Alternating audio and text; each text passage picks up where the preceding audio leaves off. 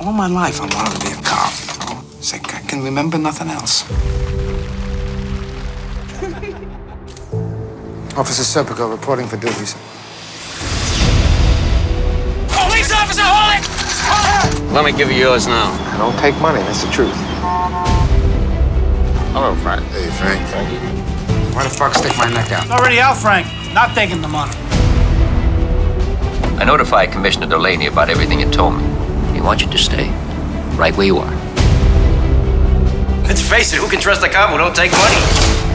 I don't want to see anything happen to you. Where am I gonna go? I've done all I can do.